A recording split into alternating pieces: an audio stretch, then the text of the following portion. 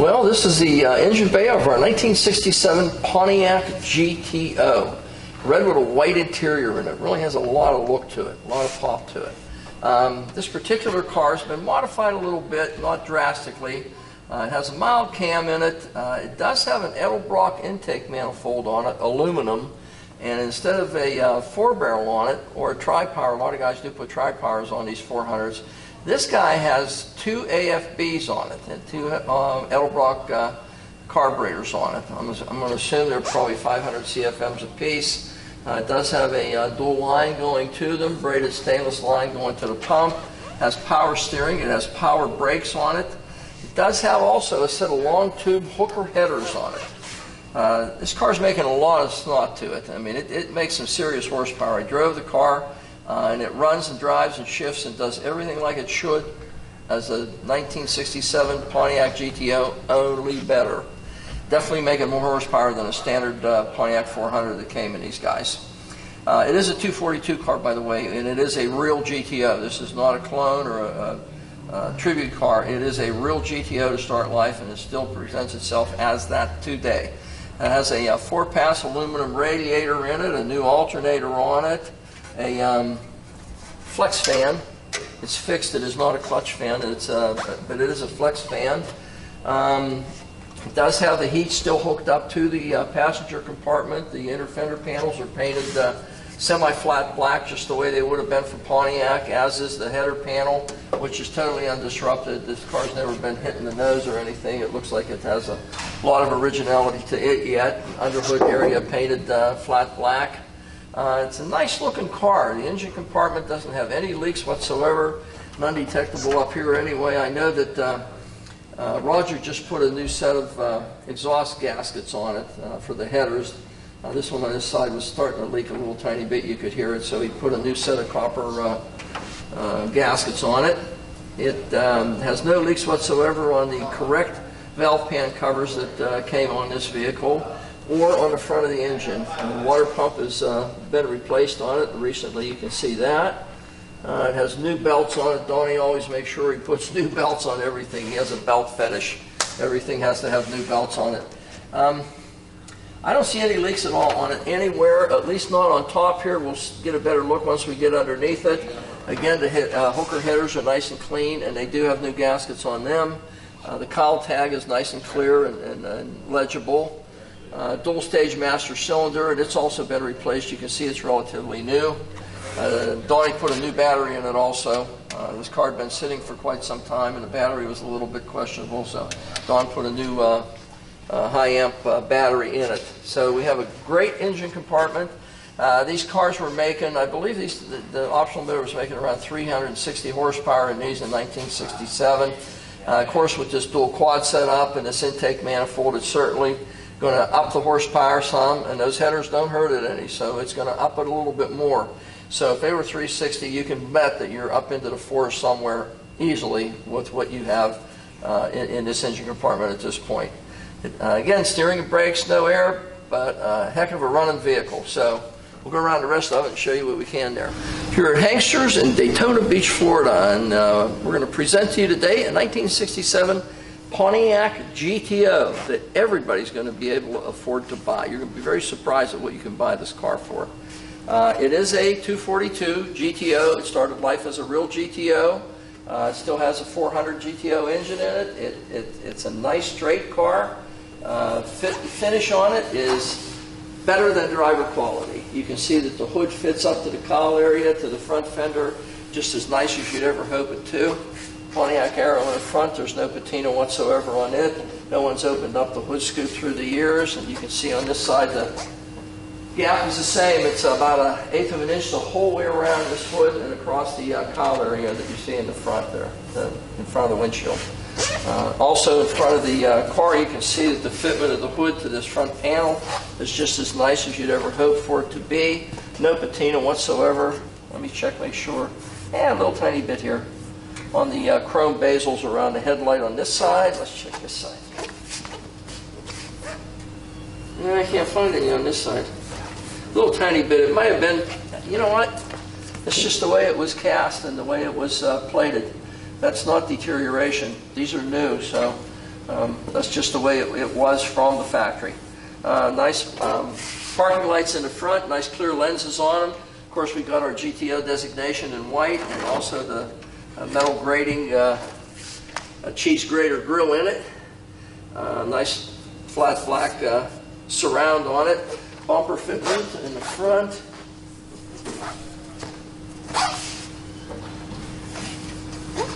A little tiny bit out on that side. This either has to come out or that has to go in. And we're really talking about uh, not even a quarter of an inch. We'll say a quarter of an inch. So it's well within production standards. Probably the way it came from Pontiac in 1967. Chrome on the front bumper is very nice. Really don't feel anything. No dents marks whatsoever on it. Little Gur Pontiac plate on the front of it. Um, and there's no dents or dinghies whatsoever on it. Uh, Height-wise, the bumper fitment is about as nice as you could hope to find. Nope, I'm going to stand corrected again. That has to come up just a little tiny bit. We got a quarter of an inch in and a quarter of an inch up, and then we have a precise fitment on it. Uh, that's the only adjustment that we can see to make at this point, because the hood usually is an issue, and this thing fits as precise as you could ever hope it to. Um, nice front end on the car, nice paint on the car. It's, it's much better than a driver quality paint job. It's a bright red Pontiac GTO, and we're going to go down the side and see what it looks like there. Okay, starting at the nose of our 67 GTO. Uh, stainless steel, the whole length of these in 1967, they put it uh, on the bottoms of the doors, the whole uh, base of the vehicle. Um, wheel lip molding, no dinghies, no marks whatsoever. All nice tin. Again, look at the fitment of this. To the header panel here, your cowl area, uh, to the hood, to the front fender, to the uh, windshield A-pillar, just as nice and straight as you could ever hope to find. Door fitment in the front, just as nice as you'd ever hope to find. And again, this is all stainless along the bottom. Pontiac designation on the base of the uh, front fender, just the way it should be. A, um, let's see, correct wiper arms and blades on this guy, too. Huh, that's nice trimmer on the front window, no marks, no dinghies whatsoever.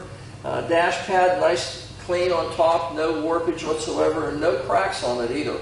The uh, base of the windshield, where it goes onto the dashboard, just as nice and straight and clean as you'd ever hope to find. That's padded there. This is metal here that goes the entire length of it. So um, it's just nice and clean, nice clear. This is usually all really rough with patina. This one has a little tiny bit, and I mean a very, very little bit of uh, uh, pitting in a chrome, but hardly objectionable. Certainly nothing that you would ever go back and address.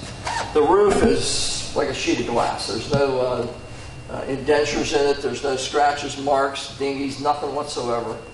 Uh, drip rail, no marks or anything on it either. Window fitment, look at this. The front window to the quarter glass, just as nice a fit as you would ever hope to find. And this is new seals on this also. Uh, white whiskers, nice and fresh on both the door and the quarter panel. Door handles, I can't tell if they're new or if they're replaced, but at any rate, there's no issues whatsoever with them. The side marker or side uh, mirror, um, eh, little tiny bit of patina on the front of it. Originality, but again, something that you can hardly notice and you're not going to replace it. No dents or marks or chips in the door anywhere. Door fitment to the quarter, look at that. That's as nice as you're going to find. Uh, trim that goes across the top of the door and a quarter panel, usually these things are kind of dingied up a little bit. This one has no marks or indentures whatsoever in it. And it's still nice and bright as can be. Sail panel on the uh, roof. There's absolutely no uh, issues with it whatsoever. Trim around the back window. No dents, dinghies whatsoever in it. Hat, rack, shelf, tray, whatever you want to call it. Um, the uh, speaker perforations are just as nice and clean as they were when they were new. I believe it is the original one also. Little tiny bit of fade to it. They're usually like a black charcoal color, and this one's uh, more of a charcoal than it is black right now. So it does have a little bit of fade, but certainly nothing that you'd ever go back and replace or, or do anything with. Little lip.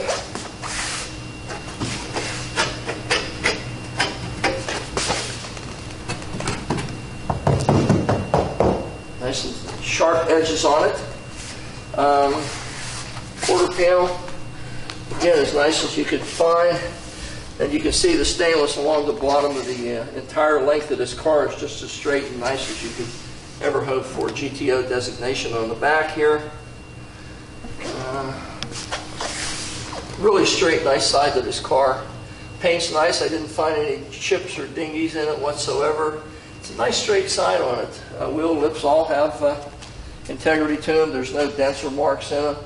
Does have a set of chrome aftermarket wheels on it. Um, I wish I had a set of uh, Rally 1s or Rally 2s. Well, Rally 2s actually.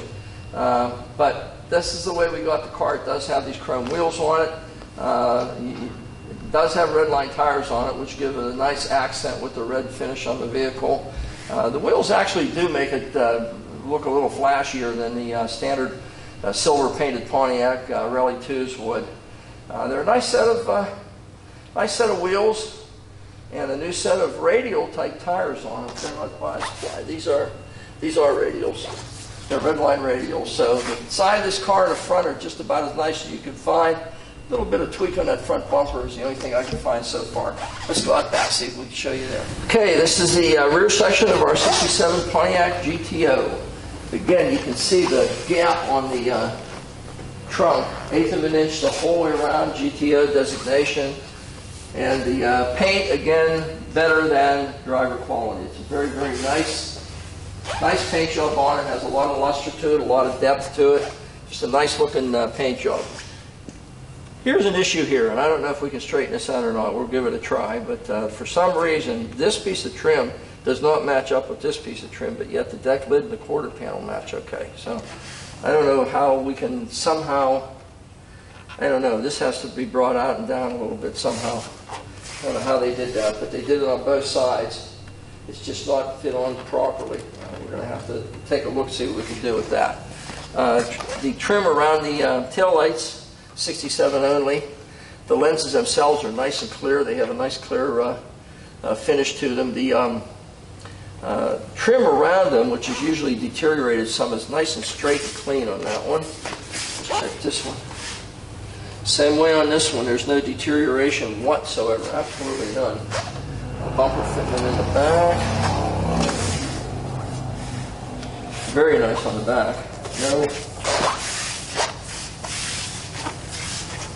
No marks, no dinghies whatsoever on it. Um, backup lights, lenses nice and clean and clear. Turn downs on the exhaust. They're uh, slash cut and they're uh, polished stainless. Uh, real nice uh, add to the uh, rear of this vehicle.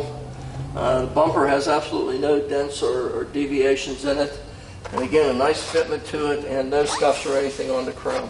So the back end of this car is really, really a nice presentation of the 67 GTO. Let's do one more side and then we quit. Okay, passenger side, 67 GTO. Again, no patina around the GTO uh, designation, just as nice and clean as you'd hope to find. Sharp edges on the uh, quarter and in the wheel well.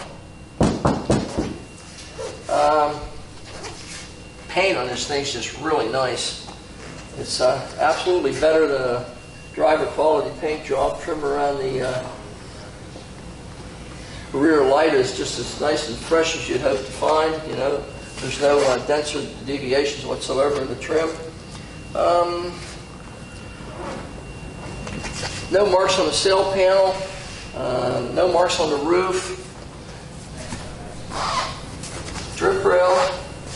No dents. Nothing's falling through it or against it through the uh, years just as nice as you find. Wipes whiskers, same as it was on the other side. Again, look at the window fitment on this thing. Front glass to the quarter glass. It's absolute precise fitment. All the rubbers on this too are new. We put new rubbers on it the whole way around. Door handle just as fresh and nice as you'd hope to find. And again, I can't tell you if they're replaced or they're original, but they're in very good condition. Door fitment, look at that. Really nice fitment.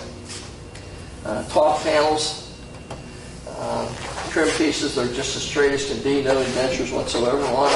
Let's check this guy. This one's near perfect. A little tiny bit of patina down here, but you really got to look to see it. Pontiac uh, logo in the uh, wing area. Trim around this side of the window, just as it was on the other side. And again, the base of the windshield to the dash is just as clean and clear as you'd ever hope to find. Look at this. Look at this. GTO designation on the front, correct style antenna on it. Wheel with molding. No dents, no dingies, no marks.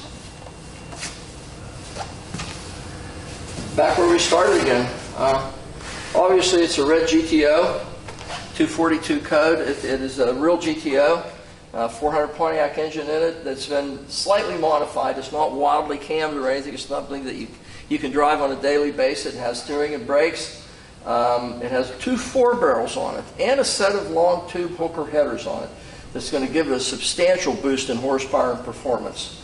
It does have a set of aftermarket wheels on it. I wish we had the uh, uh, original wheels that came with the car, but we don't. And those wheels are brand spanking new.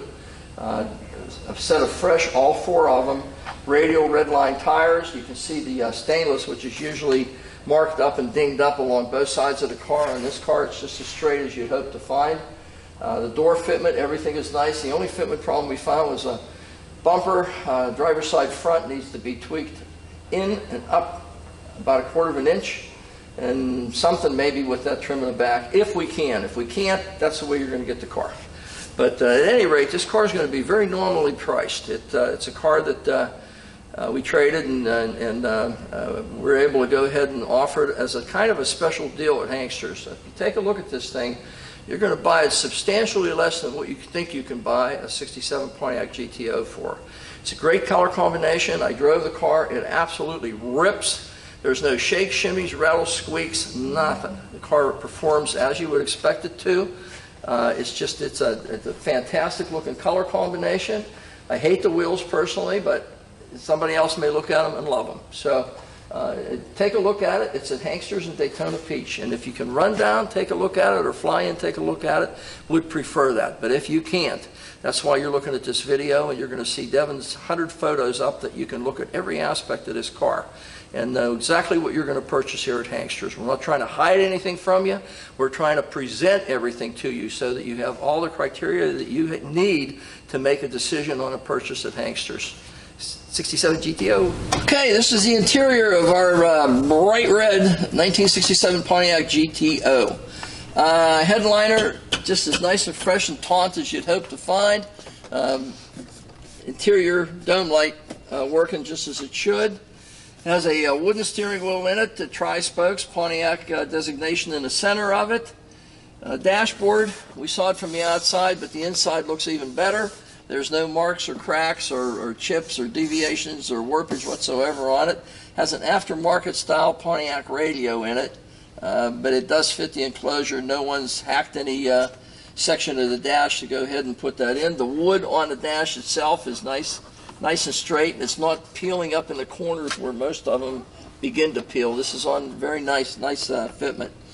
Uh, it has a uh, speedometer and a clock. It does not have the uh, gauge package, but it, what it does have is a set of auxiliary gauges down here, water temperature and oil pressure. It has both of them. Uh, nice uh, black faces with white letters to go ahead and coincide with what Pontiac put in the dashboard. Uh, all your knobs and everything are nice and clean and, uh, and fresh looking. The dashboard itself is really nice looking. Uh, how about this? You got your Pontiac uh, manual in the center there, the console. Also, there's a console in the center of this guy too, with a light that comes on. How about that? Um, his and hers shifter in this car. It does have a his and hers Pontiac shifter, uh, automatic, of course, uh, three-speed automatic. The uh, interior of this car is really nice. I mean, it, the, the, door panels, front and rear, are just as fresh and clean as you'd ever hope to find. Uh, armrests in the back are, are uh, the chrome on them is really nice. Trash trays in the back, trash tray up front. Um, let's see. The seats, front and back, uh, are just as nice as you'd hope to ever find an interior on a car. It's just really, really a nice uh, nice interior in this vehicle. The, it's, it's called parchment. It's not white. It's kind of a metallic looking white, like a cream white, and it, it really has a nice look to it. It's called parchment. Um, black uh, loop type carpeting in it. Pontiac uh, with the insignia and designation, uh, original equipment floor mats on it, rubber floor mats. Uh, does have a complement of seat belts, front and rear. You got seat belts in the back, and you got a pair of seat belts up front here also. The um, sun visors are nice, and uh, the no stitching coming loose, still nice and resilient. The fit's nice, uh, no milkiness whatsoever in the uh, day-night mirror that comes with the vehicle also. Um, let's see here, wooden steering wheel. Again, it's an aftermarket wheel, but there's no cracks or anything in the uh, wood itself. It does have an auxiliary tachometer also. I think I forgot to mention that. Uh, it has the uh, molded style armrests on it. They're not covered up with just vinyl. They are the uh, correct molded style armrests with the correct style, nice chrome um, mounting brackets for them. Uh, the door actuators are nice and clean. The chrome on them is just as fresh as you'd ever hope to find.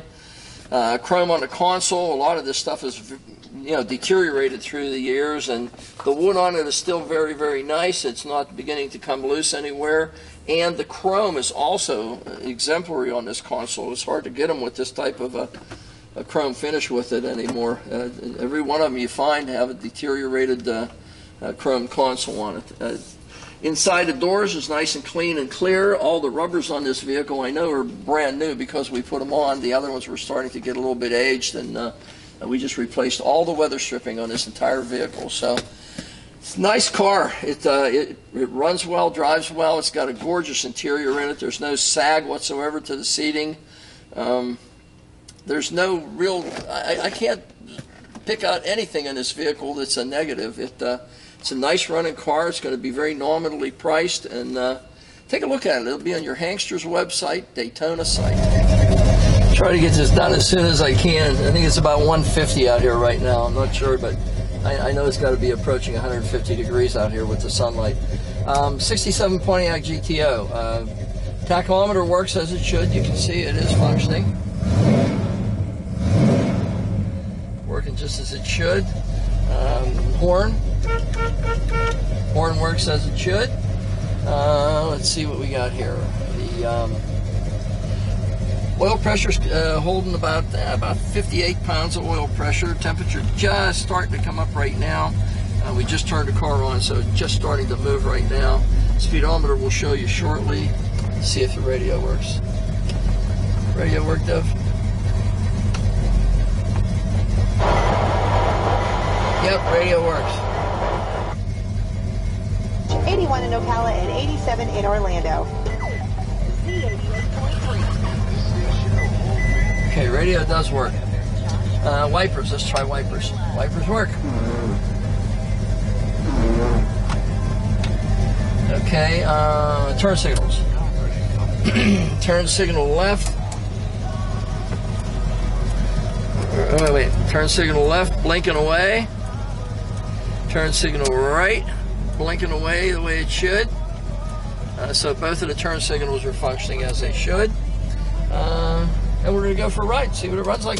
Nice tight car. Um, see if I can set the steering wheel here. There's no road straight as an arrow, no hands on the steering wheel. Just set as nice as it can possibly be. Still no hands on the wheel. We're still going straight. Nice straight running car. Let's try uh, brakes no hands, see what happens. Uh, wait a minute. Try it again. As nice as you want to.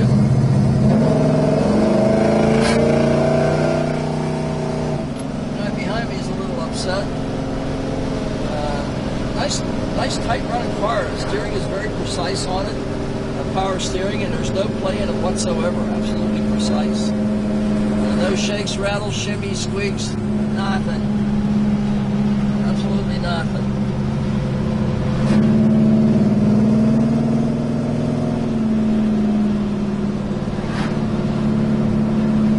Speedometer is working and functioning as it should also. Uh, I don't know if you see it or not, but it, it's working just the way it should.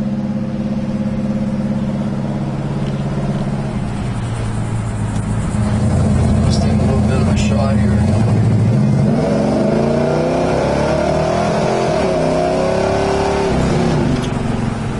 Definitely runs like it should. Nice strong running GTO. Has a nice clean firm shift to it. It doesn't uh, it doesn't it into gear, but it, it gives you a nice firm shift, real nice positive.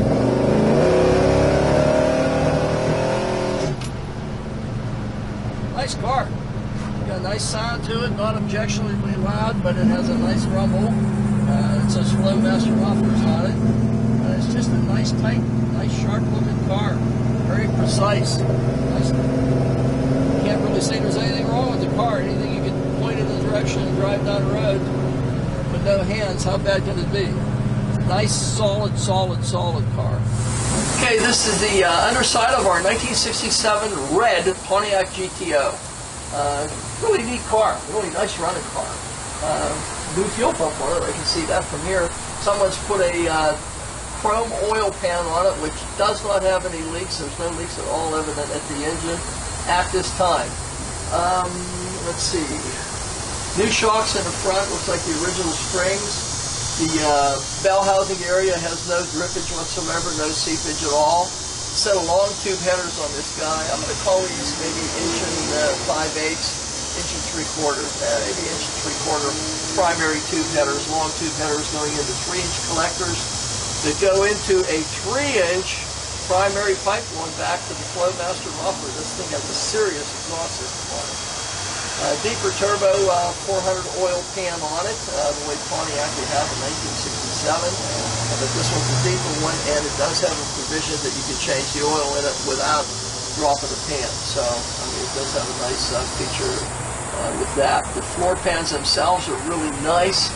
a little bit of undercoating sound bender material that was splattered on these guys when they were new yet, and it's still intact. The frame in the front uh, the box channel section of the frame before it goes on to the uh, C channel section on the sides.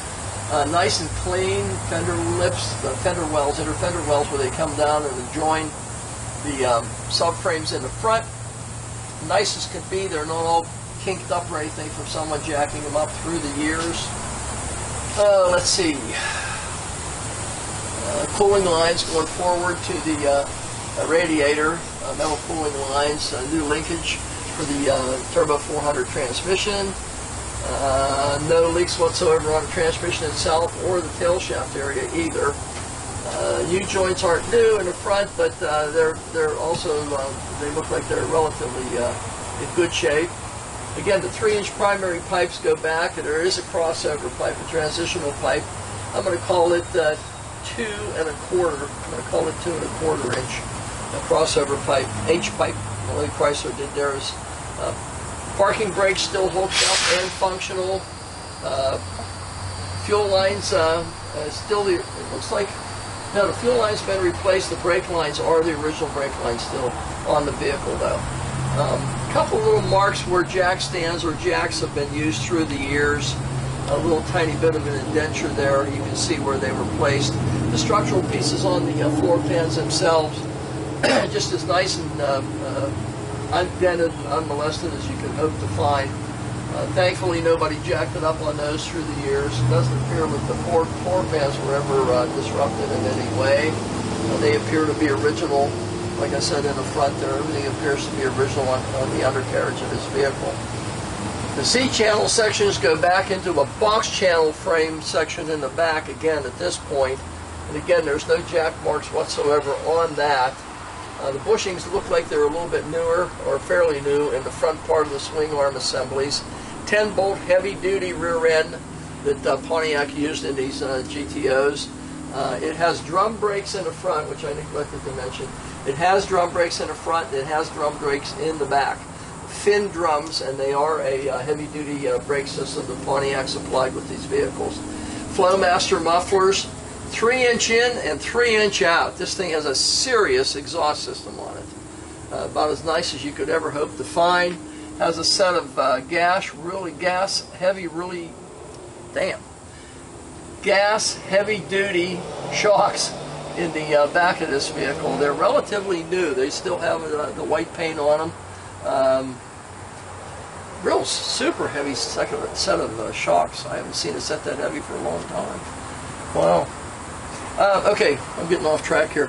The uh, floor pans in the trunk, just as nice as you'd ever hope to find, again, with the original factory uh, undercoating that was put on uh, by Pontiac. The subframes in the back, transition up over the uh, uh, differential, and they're just totally, totally undisrupted. They're as nice as you would ever hope to find. The um, C-channel part in the back, there's a section that joins them, and the back section be in front of the rear bumper. Uh, there's no pulls or dents or anything whatsoever that I can see on it. Original gas tank also, and it's uh, dent free. I don't see a single mark on it anywhere. Uh, the uh, uh, drop downs in the quarter panels. Everything appears to be original on this car yet. I can't believe it, but I mean, it, it, it looks as though the uh, floor pans in the back and the drop downs, and from what I can see on the quarters, uh, show originality. Uh, it's just a really nice, solid, straight car underneath. Uh, it's not a rotisserie restoration, but it's also a, uh, uh, a, a rust-free um, 1967 Pontiac uh, GTO. It's a real 242 car. It is a real GTO. It's not a clone. It uh, it's just a really straight-looking car. It runs well, drives well. It's a car that's here at Hanksters, uh, Daytona Beach, Florida. And if you're in the market for a GTO, this is going to be priced very nominally. So this car maybe you want to take a look at. It, it's a it's a serious uh, uh, contender for uh, somebody that's uh, in the market for a Pontiac GTO, especially 67.